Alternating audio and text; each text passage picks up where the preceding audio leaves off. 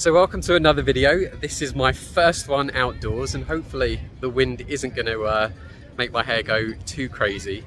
Um, but as you can see I'm actually here at the Excel Centre and I've got kind of a very different sort of video that I'm going to be doing today and uh, today's one is about just making sure that you are getting yourself out of the house and you are doing the things that you want to do however geeky however weird or out there but you are doing things that make you happy and are encouraging you to be socializing. So I'm here at the Excel Centre and I'm going to be attending a Pokemon event. Yes, I did say that right. Uh, now, growing up, I used to be a huge fan of, uh, of Pokemon, and it just so happened that there was a convention going on at the Excel Centre. And I said to my brother, uh, or I reached out to him and I said, you know what, Mark, let's do something a little bit geeky. Let's catch up. It'd be good to see you. Why don't we go to this Pokemon event? And of course, he grew up with it as well. And, uh, and he was down for it. He was like, yeah, let's do it. And we're going to be having a wander around. I'm going to definitely include clips of it in this video. But the main takeaway that I want to really just express here is that there is nothing wrong with being into really geeky things. Uh, you will definitely meet people who are into just as many geeky things as you are. And it's just something then to be able to connect with people on as well. And you can't always just be staying indoors. It's really to try and get yourself out of the house, mingle with people. And even if you are someone who is incredibly anxious, there is absolutely nothing wrong with just going out, even if you don't talk to people, but just explore, just see what your environment or your location has to offer. And obviously, London has just so many options anyway. Oh, it has gone windy. Um, but I do hope at least that you enjoy the exploration. I've got plenty of dad jokes lined up to uh, to share, so we'll see how uh, my brother enjoys them. Um, but more importantly, it's going to be good to just be spending time with my brother, talking about the most ridiculous things. I mean, we're both grown ups. I mean, I'm 36 and he's 30, but it's just going to be a laugh. It's just going to be fun. So, the main takeaway, just to wrap it before it does get too windy in that I don't end up repeating myself. Uh, and in fact, actually, it's been quite a good gauge to just be filming myself out in public because uh, I'm so used to filming other clients rather than uh, being the one in front of the camera and certainly getting that spotlight effect. But truth be told, no one actually gives a toss because everyone's filming themselves as well. So there you go, There'd be a good exercise to do in that. Um, but I mean, yeah, it's going to be great just to spend time with him. Um, so get yourself out of the house, go explore, find reasons to go and talk to people, especially if it's with people who have very similar interests and hobbies to yourself as well, or spend time with people that you know are part of your social circle or just people that you care about and uh, just have fun. So enjoy the rest of this video, enjoy seeing a lot of geeky stuff and definitely let me know in the comments below if you're into Pokemon and uh, what are some of your favorite things about it. Uh, but other than that, definitely like and subscribe to my channel uh, where hopefully I can carry on inspiring you to uh, go out, overcome your anxiety, however big or small it is. yeah, well, you're taller than me as well.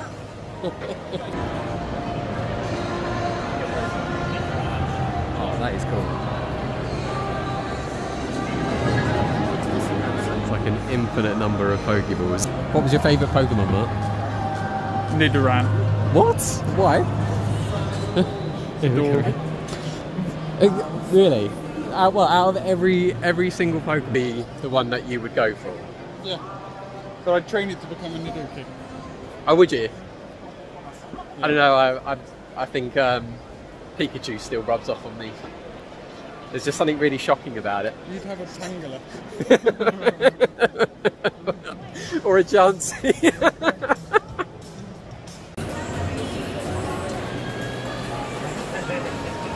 Straight in. What, what is that? I don't know.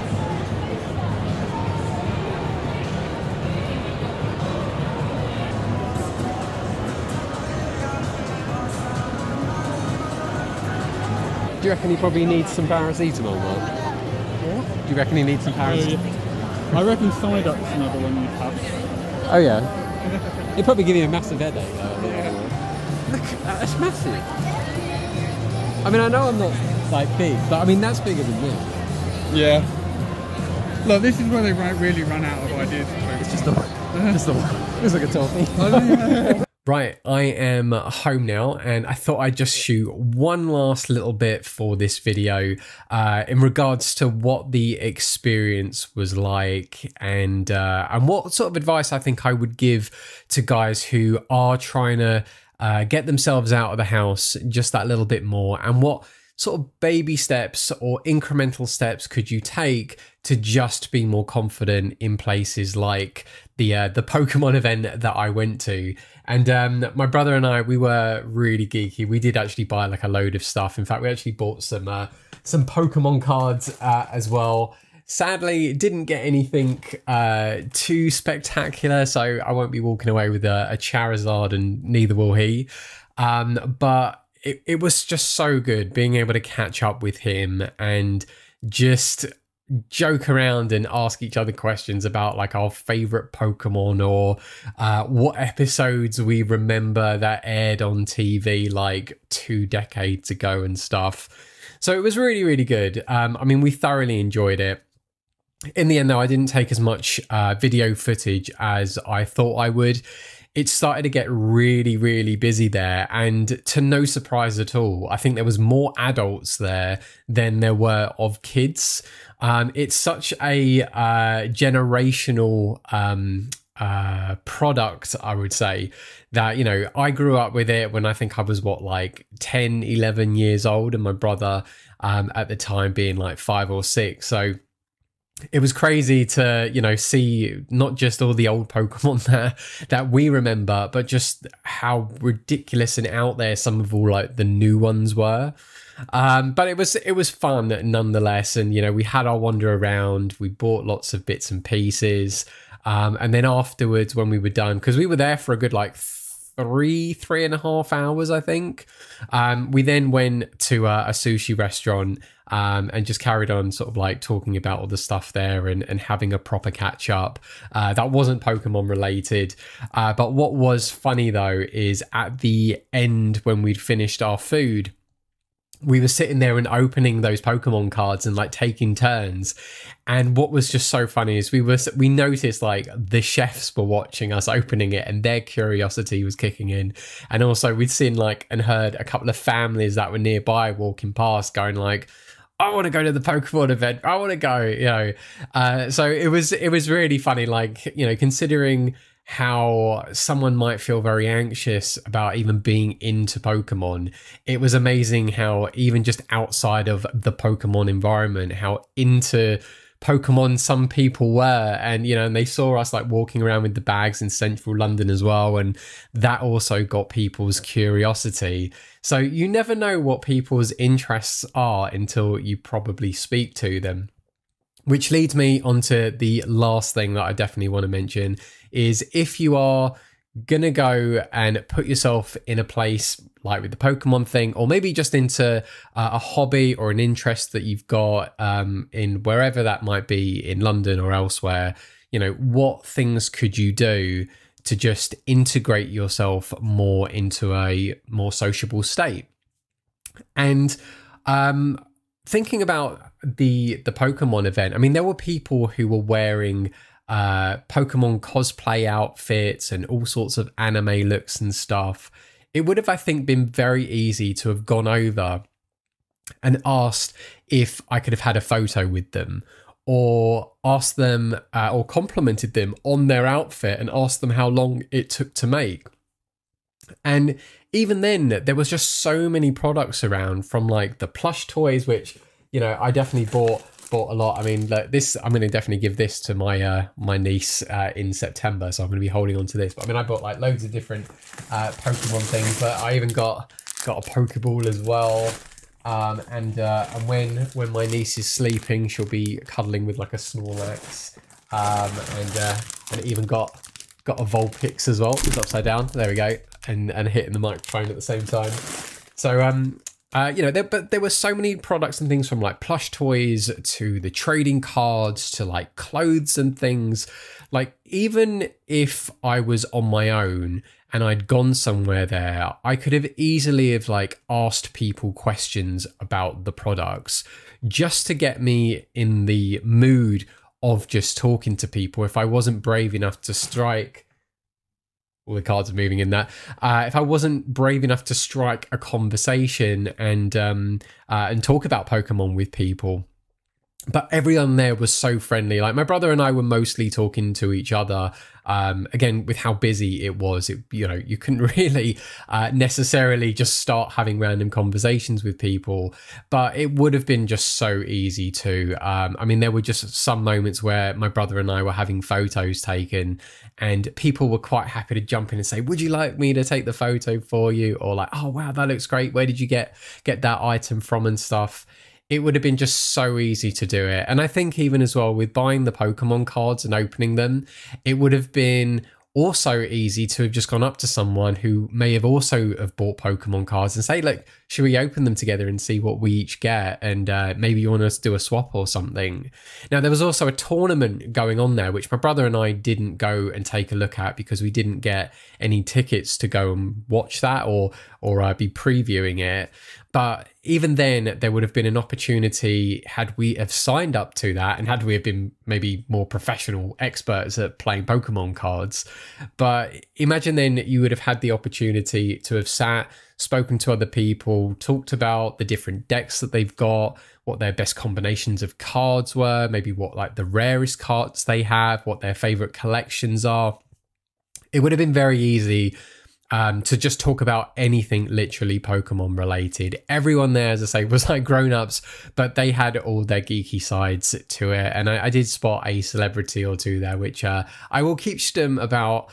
But um, it was just a really, really great experience. And to be able to even just talk about, uh, you know, a silly topic and have fun with it and just go there to enjoy myself and be in an environment where I kind of could tell that there were other people who probably had anxiety or were anxious being there as well.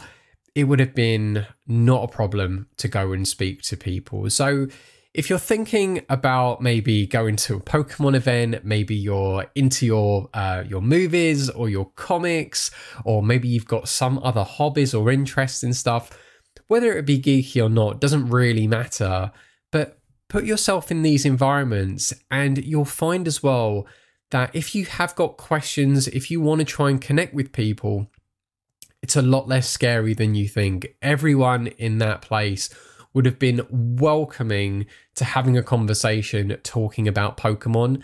I think even the most stupidest question about Pokemon would have been welcomed as well. So be rest assured if you go somewhere and meet people who have very similar interests to you, you'll find it just so much easier to connect than perhaps maybe if you're going out practicing cold approaching and trying to talk to strangers and figuring out if you've got something in common with each other, uh, especially if it's not in an environment where there is a theme of something going on.